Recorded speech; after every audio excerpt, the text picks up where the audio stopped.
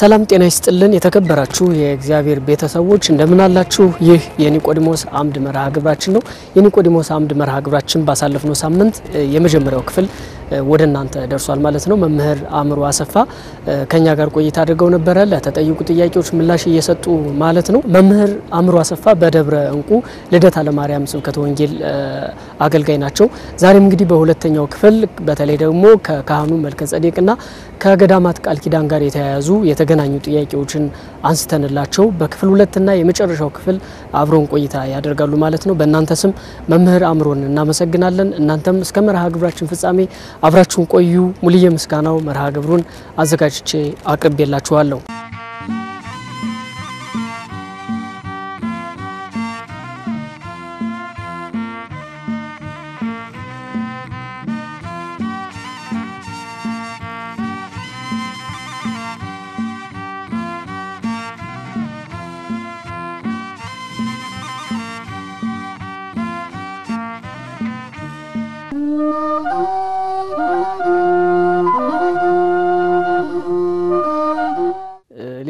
ጥያቄ እንግዲህ ሶስተኛ ጥያቄ መሆኑ ነው። መልከ ጼዴቅ ማን ነው? እናትና አባት አለው ወይ? የክርስቶስ ምሳሌነቱ ምንድን ነው? የሚል ጥያቄ ነው። ይህም እንግዲህ በሶስተኛው ጥያቄያችን ያደረሰን ጥያቄ ነው። እሺ መልከ ጼዴቅ ሕይወት ስንመለከት በብሉይ ኪዳን ታሪክ ውስጥ የምናገኘው ነው። በሐዲስ ኪዳን ላይ በእግዚአብሔር ልጅ ተመስሎ ለዘላለም ካህን ሆኖ ይኖራል ይላል ዕብራውያን ሰባት ቁጥር ሶስት ላይ ለምን ተመሰለ? መልከ ጼዴቅ እናትና አባት አሉት። እናቱ አባቱ ሚልኪ እናቱ ሰሊማ ይባላሉ። ቤተክርስቲያናችን መጽሐፍት ውስጥ ተመዝግቦ የምናገኘው ነው። የካም የልጅ ልጅ ነው። ከካም ዘር ውስጥ ነው ያለው። እንግዲህ በእግዚአብሔር የተመሰለበት ግን ብዙ ምክንያቶች አሉ።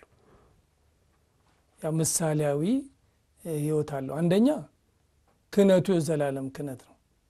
እግዚአብሔር በዕጣን ከሚደረገው ከአሮን ክህነት ይልቅ የሐዲስ ኪዳን ምሳሌ የሆነውን በስንዴና በወይን የሚያስታኩተውን የአሮንን ክህነት የመልከ ጼዴቅን ክህነት ተቀብሎታል።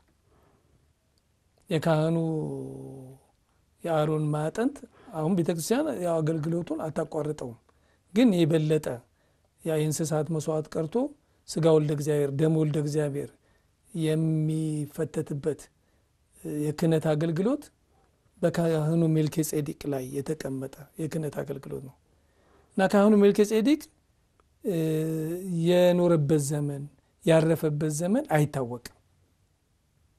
ለምን? ለእግዚአብሔር ወልድ ምሳሌ እንዲሆን ነው።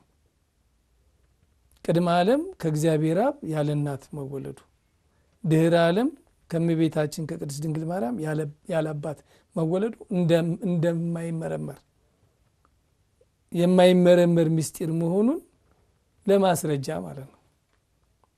ካህኑ መልከ ጼዴቅ በወልደ እግዚአብሔር በመድኃኔዓለም የተመሰለው በዚህ ምክንያት ነው እና በካህኑ መልከ ጼዴቅ ውስጥ ያሉ ብዙ ነገሮችን ስንመለከት ካህኑ መልከ ጼዴቅ ካህን ነው። ጌታችን አምላካችን ፈጣሪያችን መድኃኔዓለም ክርስቶስም ካህን ነው። የዘላለም ካህን ነው። ካህኑ መልከ ጼዴቅ መስዋዕት ይሰዋ ነበር። መድኃኔዓለም ክርስቶስም ራሱን መስዋዕት አድርጎ አቅርቦ በመስዋዕትነቱ አድኖናል። ራሱ መስዋዕት፣ ራሱ ሰዊ፣ ራሱ መስዋዕት ተቀባይ፣ ራሱ ታራቂ፣ ራሱ አስታራቂ ሆኖ ራሱ መስዋዕት ሆኖ ስለቀረበ አሁን ካህኑ መልከ ጼዴቅ መስዋዕት ይሰዋ ስለነበር መልከ ጼዴቅ አባታችን አብርሃምን ባርኮታል። ካህኑ መልከ ጼዴቅ ጌታችን አምላካችን ፈጣሪያችን መድኃኔዓለም ክርስቶስም ቅዱሳን ሐዋርያትን ባርኳቸዋል። ምሳሌ ሆነው ካህኑ መልከ ጼዴቅ ከአባታችን ከአብርሃም አስራት ተቀብሏል። ጌታችን አምላካችን ፈጣሪያችን መድኃኔዓለም ክርስቶስም ከሰባ ሰገል ዕጣን፣ ከርቤ፣ ወርቅ ተቀብሏል። ካህኑ መልከ ጼዴቅ እስራኤል በሚበድሉበት ጊዜ የማታ የማታ መስዋዕት ሰውቶ ከእግዚአብሔር ጋር ያስታርቃቸው ነበር። መድኃኔዓለምም ደግሞ የማታ የማታ ከሰማያ ሰማያት ወርዶ የበደሉትን አዳምና ሔዋንን ለማዳን በመስቀል ላይ ተሰቅሎ ስጋውን ቆርሶ ደሙን አፍሶ ራሱም ታርቋቸዋል። ከእግዚአብሔር አብና ከእግዚአብሔር መንፈስ ቅዱስም ጋር አስታርቋቸዋል እና ካህኑ መልከ ጼዴቅ የሰላም ንጉሥ ነው። መድኃኔዓለምም የሰላም አምላክ ነው። ካህኑ መልከ ጼዴቅ በሳሌም የነገሰ ነበረ። መድኃኔዓለምም ደግሞ በኢየሩሳሌም ነው ሰው ሆኖ ዓለምን ያዳነው እና ካህኑ መልከ ጼዴቅ እንግዲህ ከመድኃኔዓለም ጋር የሚመሳሰልባቸው ብዙ ምሳሌዎች አሉ። ይሄ ነው እንግዲህ የዘላለም ካህን ነው። እናትና አባቱ አይታወቁም የተባለው ቅድመ ዓለም ከእግዚአብሔር አብ ያለ እናት እንደተወለደ ድህረ ዓለም ከመቤታችን ያለ አባት እንደተወለደ ልደት ቀዳማዊ ታውቀ በዳህራዊ ብለን ብንልም ይሄ የማይመረመር ነው እና የካህኑ መልከ ጼዴቅም መነሻውም መድረሻውም በቤተ ክርስቲያን ምስጢር ውስጥ አይታወቅም። ለወልደ እግዚአብሔር ለመድኃኔዓለም ምሳሌ የሆነ ቀረበ። ለዚያ ይህን ታሪክ የምናገኘው ከዘፍጥረት ምዕራፍ 14 ላይ ነው። አብርሃም ሎጥን የወንድሙ ልጅ ሲወስዱበት ማለት ነው። ዘፍጥረት 14 ላይ ታሪኩን በግልጽ ተቀምጦ እናገኛለን። ከቤቱ የሆኑ 318 ብላቴኖችን ይዞ ሄደ ይላል አባታችን ቅዱስ አብርሃም ዘፍጥረት 14 ላይ 318 ብላቴኖችን ይዞ ሄዶ ከማን ጋራ ተዋጋ? ከኮሎዶጎሞር ጋር ተዋጋ። ከኮሎዶጎሞር ጋር ተዋግቶ ኮሎዶጎሞርን አሸንፎ ከዛ እግዚአብሔር ወደ ካህኑ ወደ መልከ ጼዴቅ ሂድ ዮርዳኖስን ተሻግሮ ካህኑ መልከ ጼዴቅን አገኘው። ካህኑ መልከ ጼዴቅም አባታችን አብርሃምን ባረከው፣ ህብስተ አኰቴት ጽዋዐ በረከትን አቀበለው። ይሄም በብሉይ ኪዳን ያለው ምስጢር በሐዲስ ኪዳን ያለው የወንጌል ምስጢር እንደሆነ በዮሐንስ ወንጌል በምዕራፍ 8 ቁጥር 58 ላይ አብርሃም አባታችሁ ቀኔን ያይ ዘንድ ወደደ አየም ደስም አለው ይላል መድኃኔዓለም። አብርሃም መድኃኔዓለም ሲወለድ በቤተልሔም፣ መድኃኔዓለም ሲጠመቅ በዮርዳኖስ፣ መድኃኔዓለም በቀራኒው ሲሰቀል በጎልጎታ፣ መድኃኔዓለም በቀራኒው መድኃኔዓለም ሲሰቀል በቀራኒው፣ መድኃኔዓለም ሲነሳ በጎልጎታ በአካለ ስጋ አልነበረም። ቅዱሳን ሐዋርያት በነበሩበት ጊዜ አባታችን አብርሃም በአካለ ስጋ አልነበረም። አብርሃም አባታችሁ ቀኔን አየ ደስም አለው ያለው ምሳሌውን ስላየ ነው። ያ የብሉይ ኪዳኑ ምሳሌ ማለት ነው። ይህም ምሳሌ ነው። ኮሎዶ ጎሞር የአጋንንት ምሳሌ ነው። አብርሃም የሕፃናት ምሳሌ ነው። ዮርዳኖስ የጥምቀት ምሳሌ ነው። ካህኑ መልከ ጼዴቅ የካህናት ህብስተ አኮቴት የቅዱስ ሥጋው ጽዋ በረከት የክቡር ደሙ ያንን ዮርዳኖስን ተሻግሮ ህብስተ አኮቴት ጽዋ በረከት እንደተቀበለ እኛም ደግሞ ሕፃናትን አስጠምቀን ስጋው ደግሞ እንደምናቀብላቸው በሌላውም ምስጢር አብርሃም የእግዚአብሔር ወልድ ምሳሌ ነው። ኮሎዶ ጎሞር የአሪዮስ ምሳሌ ነው። 318 ብላቴኖች የ318 ሊቃነ ጳጳሳት ምሳሌ ናቸው። 318ቱን ብላቴኖችን ይዞ ኮሎዶጎሞርን ድል እንደነሳ እግዚአብሔር ወልድም በ318ቱ ሊቃነ ጳጳሳት አርዮስን አውግዘው ሎጥ የተዋህዶ ሃይማኖት ሀብቱ የህጓ የስርዓቷ መልሶታል ወደ ቤቱ። ተዋህዶን ሃይማኖት ህጓን ስርዓቷን አስከብረልናል። ሃይማኖት በሰለስቱ ምዕት ጸንተዋል ማለት ነው። ስለዚህ እዛ ጋር ያለው የአባታችን የአብርሃም ምስጢር የካህኑ መልከ ጼዴቅም አብርሃምን የመባረክ ምስጢር ከዚህ ከሐዲስ ኪዳን ምስጢር ጋር የተያያዘ ነው። ሌላም ማስፍተም ብንመለከት ብዙ ነገሮች እናገኛለን። አባታችን አብርሃም ያልተገለጠለት ምስጢር ምስጢረ ስላሴን በድንኳኑ ተመልክቷል። ምስጢረ ስጋዊም ደግሞ ተነግሮታል። የዛሬ ዓመት እንደ ዛሬው ጊዜ ወደ ቤት እመጣለሁ ከአንተም ሳራም ልጅ ትወልዳለች። ሁሉም ምስጢረ ትንሣኤ ሙታንን ብንመለከት በመቶ ዓመቱ ከአካሉ ዘር መገኘቱ በዘጠና ዓመቷ ሳራ ጡት ማጥባቷ የዕለ ትንሣኤም ብዙ ማስረጃ ነው እና ይሄ የካህኑ የሜልከ ጼዴቅ ሕይወት ያለው ሁሉ የቤተ ክርስቲያን ትውፊታዊ መጽሐፍት ውስጥ ለምሳሌ በገድለ አዳም ብንመለከት፣ በሌሎችም በትርጓሜ መጽሐፎች ብንመለከት፣ ከአባቶችም ከመምህራን ብንመለከት ከነኛ ጋራ ተውጣቶ የቀረበልን ነው። ምሳሌያዊ ነው ማለት ነው።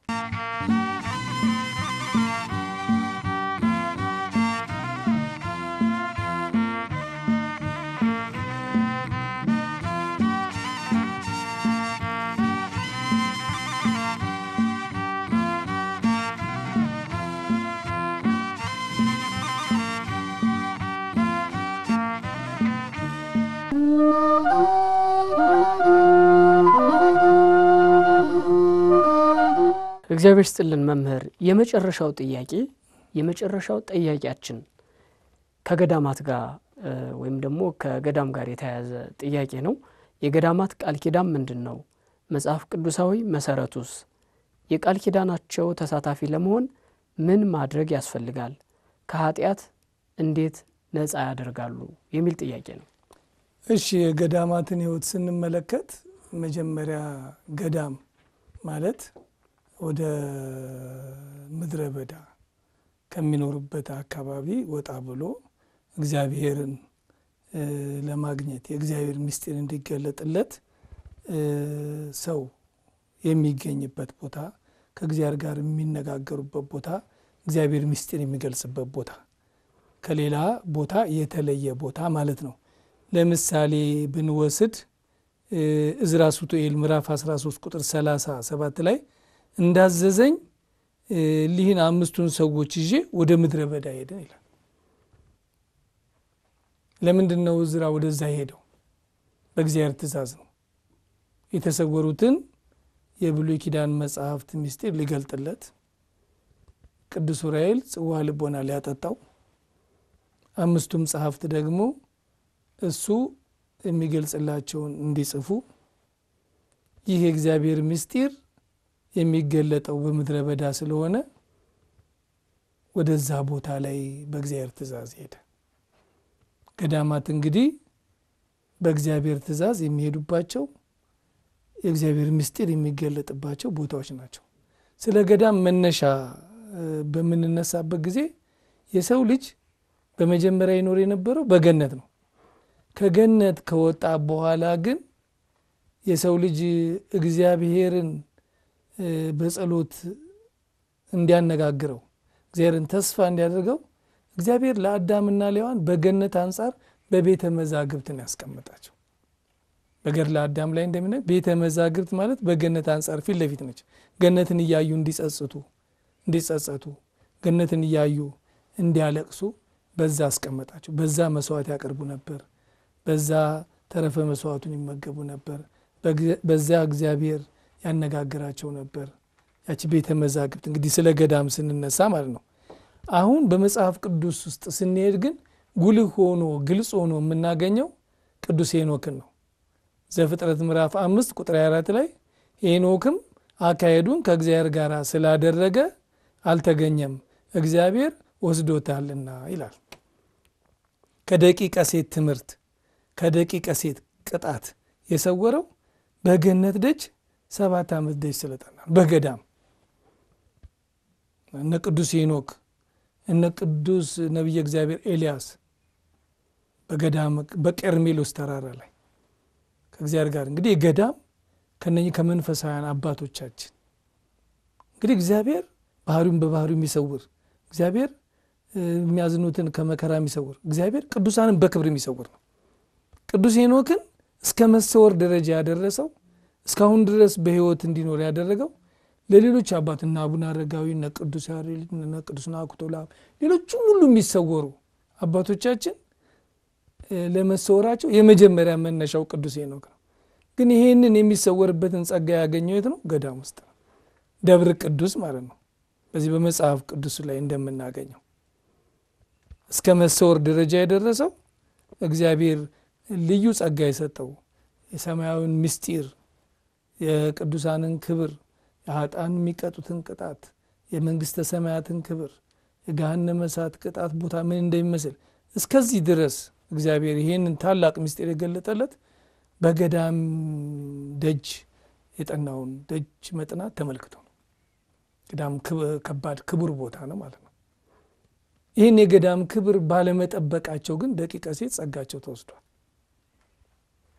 እግዚአብሔር መንፈሴ በእነሱ ላይ አይሆንም ብሎ ገዳማዊ ሕይወትን ስለናቁ ዓለማዊ ሕይወትን ስለመረጡ ዛሬም ገዳማዊ ሕይወትን እንደሚያቃልሉ ሰዎች ዓለማዊ ሕይወትን በመምረጣቸው ምክንያት ጸጋቸው እንደሚወሰድባቸው ሰዎች ገዳማዊ ሕይወት ክቡር ነው። እነ ቅዱስ ሄኖክ የተሰወሩበት ነው።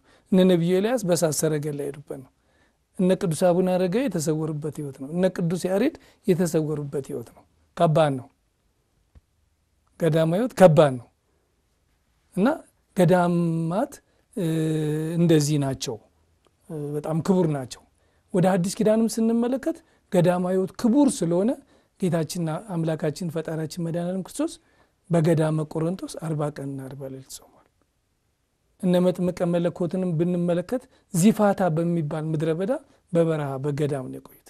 ከዛ ከወጣ በኋላ አምላኩን ለማጥመቅ ነው ለትልልቅ ክብር የሚበቁትን ሰዎች እነ ሊቀ ነቢያት ሙሴን ብንመለከት ወደ ሲና ተራራ ገዳም ነው ወጣ። እዛ አውጥቶት ነው ጽላቱን የተቀበለው።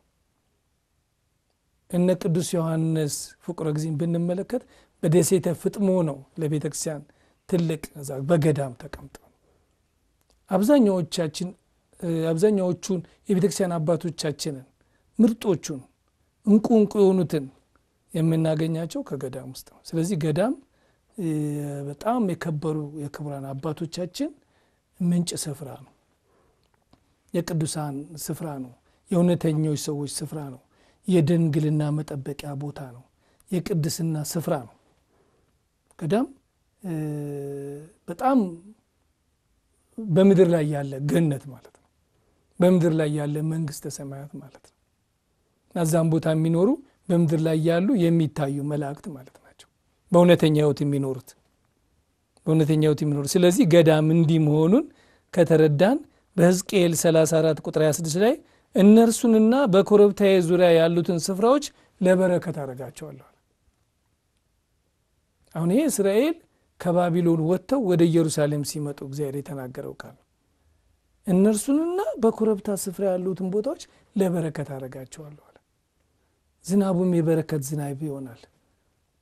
በዱር ውስጥ ተዘለው ይኖራሉ። የቀንበራቸውን ማነቆ ሰብራለሁ። የሚያስጨንቋቸውን አውሬዎች ሁሉ ለጊዜው ባቢሎናውያንን ነው ለጊዜው በሰባ ዓመት የተጋዙትን ግዞት ነፃ ያወጡበትን ምስጢር የሚያስረዳ ነው።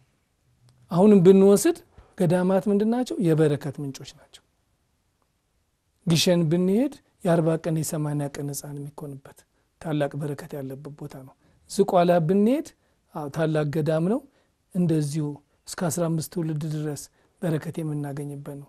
ደብረ ሊባኖስ ብንሄድ እንደዚሁ ታላቅ ቃል ኪዳን ያለበት እስከ አስራ አምስት ትውልድ ጸጋና በረከት ምሕረት የሚገኝበት ቦታ ነው። በአጠቃላይ ገዳማት የበረከት ቦታዎች ናቸው።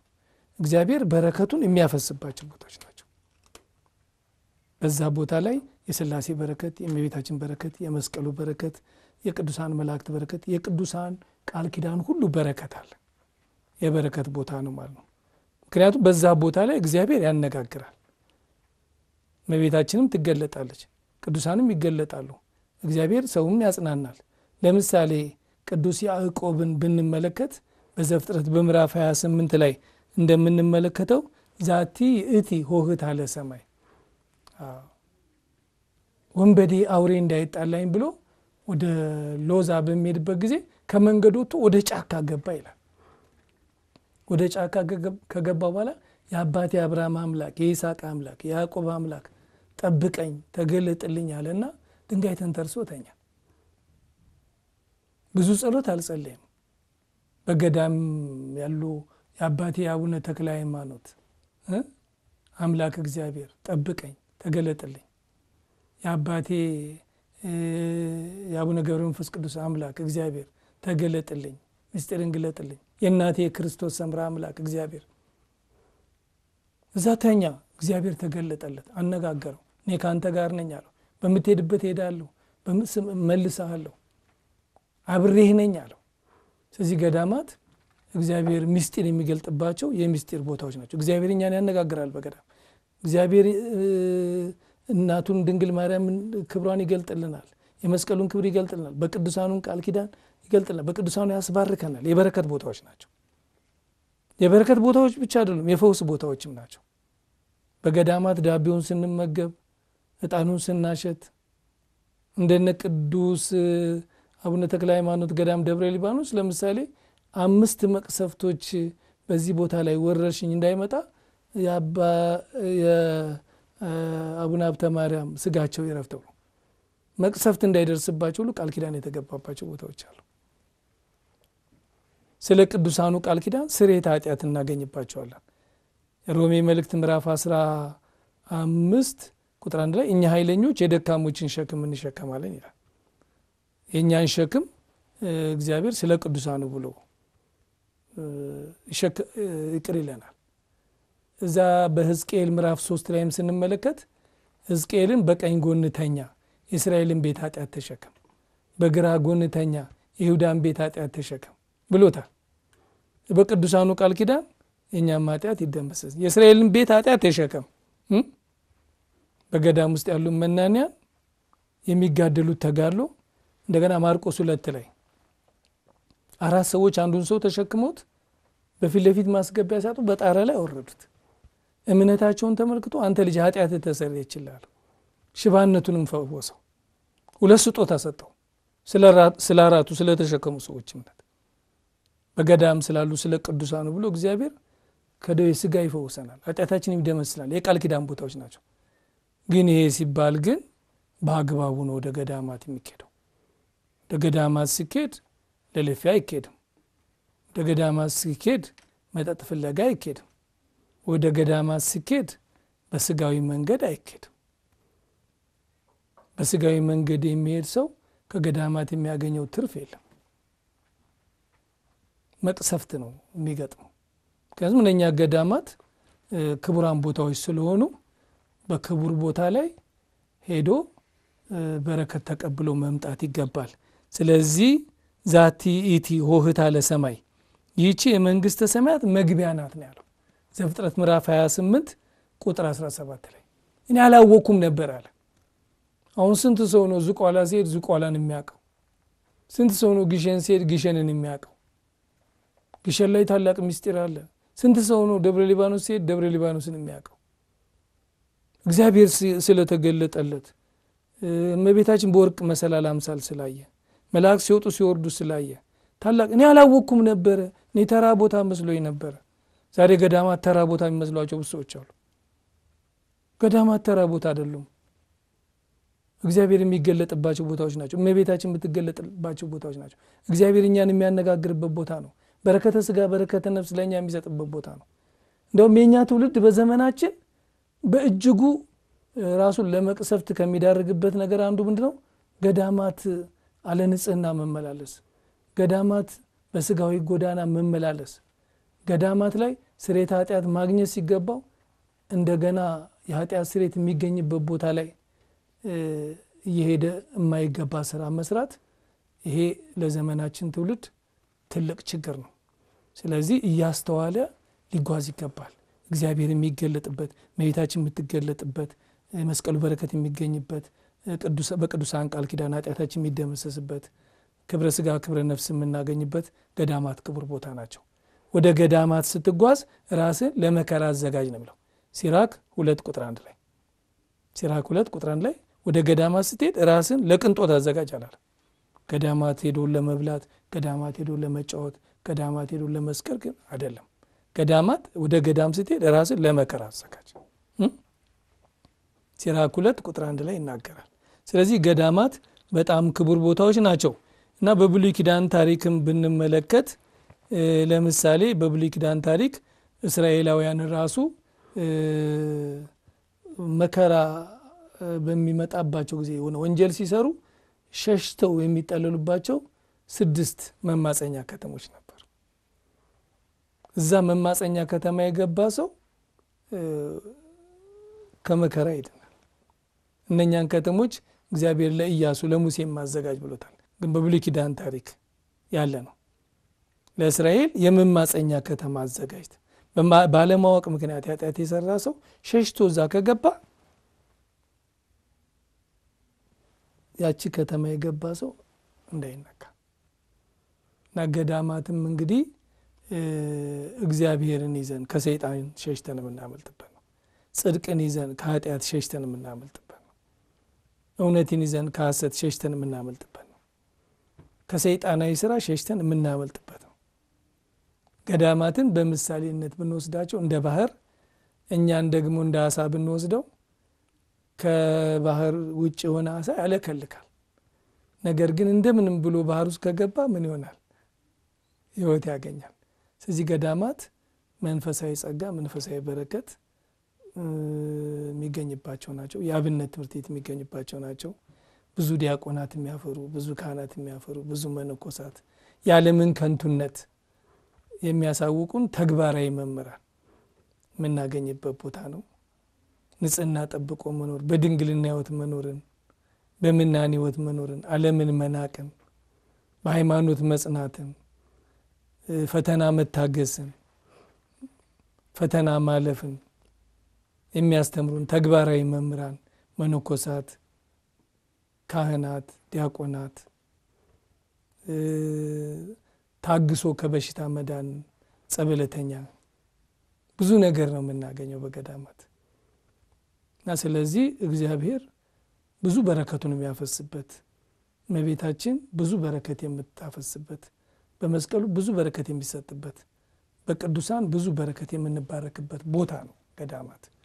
ስለዚህ ገዳማት በቤተ ክርስቲያናችን ክቡር ስፍራዎች ናቸው፣ የከበሩ ናቸው እና ለበረከት አረጋቸዋለሁ እንዳለ ሁሉ በዘፍጥረት 34 ቁጥር 26 ላይ እግዚአብሔር ብዙዎችን ቦታ ለበረከት አድርጓቸዋል። ለምሳሌ ብንወስድ በሲና ተራራ ላይ ጽላቱን የተቀበለበት፣ በደብረ ታቦር ተራራ ላይ ምስጢረ መለኮቱ የተገለጠበት፣ በቀርሜሎስ ተራራ ላይ እመቤታችን ለምሳሌ የተወለደችበት የሊባኖስ ተራራ ነው። ጌታችን ያስተማረበት ራሱ ደብረ ዘይት ተራራ ነው። ምስጢረ መለኮቱን የገለጠበት ነው። እንዲያውም ራሱ ዓለም የሚያልፈው ራሱ በደብረ ዘይት ተራራ ላይ በጉ ይመጣል ይላል ራእይ 14 ላይ ብዙ ምስጢራት ያለባቸው ቦታዎች ናቸው። በአሁን ጊዜ ግን በማወቅም ባለማወቅም ሰው ወደ ገዳማት የሚጓዝበት አጓጓዝ ከጥቂት ሰው በስተቀር በአብዛኛው ደስ የሚል አይደለም።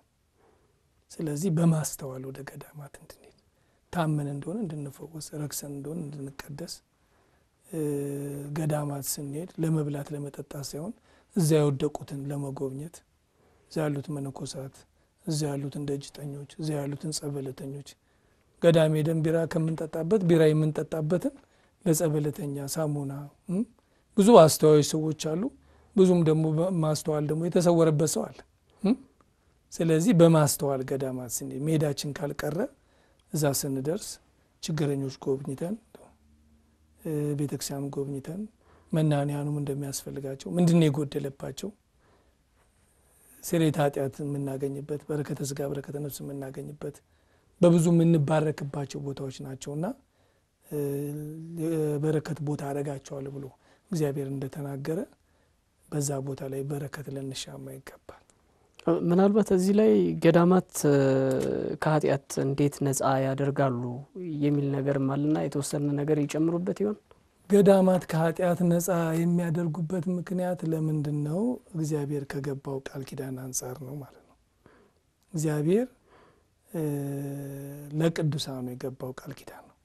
ለምሳሌ ብንወስድ ከቅዱስ መጽሐፍ ቅዱሳኖች አንድ ልመና እግዚአብሔርን ይለምናሉ። ቀዳሜ ሰማዕት ቅዱስ እስጢፋኖስ ነጽሮተ ስሉስ ቅዱስ ላይ ደርሶ ሥላሴን እየተመለከተ በድንጋይ የሚወግሩት ሰዎች የሚለምነው ልመና ነበር።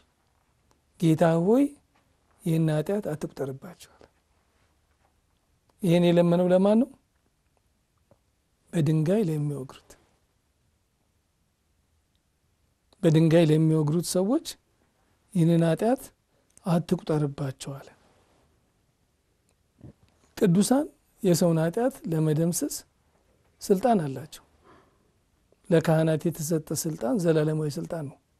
ዮሐንስ ወንጌል በምዕራፍ 20 ቁጥር 23 ላይ እናንተ ኃጢአቱን የያዛችሁበት ኃጢአቱ ተይዞበታል፣ እናንተ ኃጢአቱን ይቅር ያላችሁት ይቅር ተብሎለታል ይላል።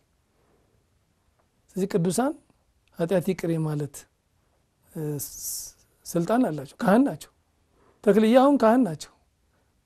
እግዚአብሔር ይፍታ ካሉት ተፈታ ማለት ነው። ኃጢአቱን ይቅር ተባለለት። ከተሰጣቸው ቃል ኪዳን አንዱ ከተሰጣቸው ቃል ኪዳን አንዱ የሰዎችን ኃጢአት የመደምሰስ ነው። ቅድምም ለማስረጃ አቅርቤዋለሁ። ማርቆስ ወንጌል ምዕራፍ ሁለት ላይ ማርቆስ ወንጌል ምዕራፍ ሁለት ላይ አራት ሰዎች አንዱን ሰው ተሸከሙት። በፊት ለፊት በር ማስገባት ሲያቅታቸው በጣራው ላይ አወረዱት። እምነታቸውን ተመልክቶ ይላል። እነማንን የተመለከተው? የተሸከሙትን አራት ሰዎች እምነት ነው። የእነሱንም እምነት ተመልክቶ የእሱንም እምነት ተመልክቶ የእነሱ እምነት ምንድን ነው? ያድንልናል ብለው ነው። የእሱስ እምነት ያድነኛል ምንድን ነው ያለው? አንተ ብላቴና ኃጢአትህ ተሰረየችልን ያለው። ኃጢአትህ ተሰረየችልን ስለማን? ስለተሸከሙት። እነኛ ሰዎች የወሰዱት ወደ ባህሪ አምላክ ኢየሱስ ክርስቶስ ጋር የወሰዱት ለምንድን ነው? ኃጢአቱ እንዲደመሰስልን ያደረሱትም ለምንድን ነው? ሽባነቱ እንዲተረተር ነው። ለዛ ሰው ሁለት ስጦታ ተሰጥቶታል። ስለ እነማን? ስለተሸከሙት ሰዎች። አንደኛው የነፍሱ በሽታ ነው የተደመሰሰለት። የነፍሱ በሽታ ኃጢአት ነው። ኃጢአት ተሰረየችልህ አለ። ኃጢአት ተሰረየችልህ እምነታቸውን ተመልክቶ እምነታቸውን ተመልክቶ የተሸከሙትንም የተሸከሙንም የሁለቱንም እምነት ነው ያየው። የተሸከሙት ያድንልናል ብለው አምነዋል። የተሸከሙም ያድነኛል ብለው አምነዋል። በዚህ ውስጥ ገዳማውያንም ባላቸው ጽኑ እምነት ወደ እነሱም ቦታ የሚጓዘው ሰው ባለው እምነት በዚህ መካከል እግዚአብሔር ኃጢአትን ይደመስሳል። ከእናንተ ሁለቱ ብትተባበሩ እኔ በመካከላችሁ እገኛለሁ። ስለዚህ ገዳማት የቅድስና ቦታ ናቸው። የቅድስና ቦታ ስለሆኑ ለቅዱሳኑ ከተገባላቸው ቃል ኪዳን አንዱ ስለ እኔ ብለህ ማርልኝ፣ ስለ እኔ ብለህ ይቅር ስለ ቅዱሳኑ ብሎ እግዚአብሔር ኃጢአትን ይቅራል። ኃጢአታቸውን ይቅር በላቸው አለ ቅዱስ እስጢፋኖስ። ምክንያቱም የቅዱሳን ጸሎት በእግዚአብሔር ዘንድ የሚሰማ ነው። ተሰምቶም ደግሞ መልስ የሚሰጥ ነው። አምናችሁ በጸሎት የምትጸልዩትን ትቀበላላችሁ ነው ያለው ማቴዎስ 21 ቁጥር 22 አይደል? አምነው ሕዝብ ስርየት እንዲያገኝ ይለምናሉ። ራሱም እግዚአብሔር ይሄን መንገድ ይወደዋል። ቅድም በትንቢተ ሕዝቅኤል ምዕራፍ ሶስት ላይ ሕዝቅኤልን አንተ የሰው ልጅ ሆይ በቀኝ ጎን ተኛ፣ የእስራኤልን ቤት ኃጢአት ተሸከም፣ በዚህ ወራት የምትበላው እንዲህ እንዲህ እንዲህ እንዲሆን በግራ ጎን ተኛ፣ የይሁዳን ቤት ኃጢአት ተሸከም።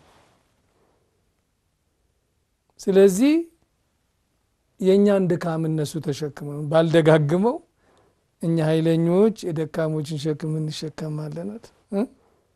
ሮሜ 15 ቁጥር አንድ ላይ እዚህ ይሄ የሚደረገው ከእግዚአብሔር ከቸርነቱ ነው፣ ከእግዚአብሔር ከምሕረቱ ነው። ለዛ ቦታ ላይ ከተገባው ከእግዚአብሔር ቃል ኪዳን የተነሳ ነው። እግዚአብሔር በዛ በገዳማት ላይ ከሰጠው ቃል ኪዳን የተነሳ የሚደረግ ነው። ይሄም ደግሞ በማመን የሚከናወን በእምነት የሚከናወን ነው። ይህን ማለት ግን ሰው ገዳማት ሄጄ ኃጢአቴ ይደመሰሳል፣ ስለዚህ እንደገና ደግሞ ሄጄ ገዳማት ይደመሰሳል ብለን እንዳንል፣ ለምሳሌ በጤፉት በሚባለው በቤተ ክርስቲያን ችን በግሸን ባለ መጽሐፍ ላይ ምን ይላል? አንድ ሰው ግሸን ደርሶ ኃጢአቱ ከተፋቀለት በኋላ ነገ መልሼ ግሸን መጥቼ ኃጢአት ይፋቅልኛል ብሎ ኃጢአት ቢሰራ ያላሰበው ጭልፊት መጥቶ ይወስደዋል። የሰራው ኃጢአት ሳይበቃ እንደገና በቀደመውም ደግሞ በሌላ ኃጢአት ተጠይቆ ይቀጣል ይላል።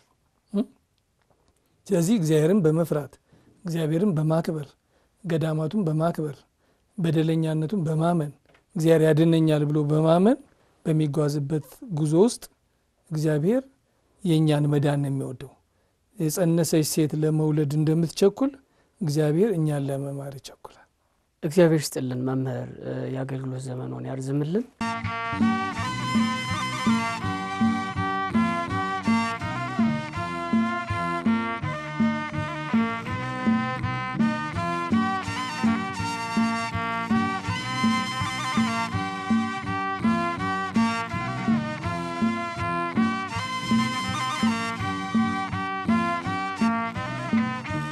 ተመልካቾቻችን ለዛሬ የነበረን የኒቆዲሞስ አምድ መርሃ ግብር የተመለከታችሁትን ይመስል ነበረ። እስከ መርሃ ግብራችን ፍጻሜ ስለነበራችሁ ቆይታ በእግዚአብሔር ስም ከልብ አመሰግናለሁ። ለመምህራችንም ረጅም እድሜና የአገልግሎት ዘመን ይስጥልን። ቀጣይ ሳምንት ደግሞ በሌሎች ጥያቄዎች በሌላ መምህር ተመልሰን እንመጣለን። እስከዛው ቸርን ሰንብት።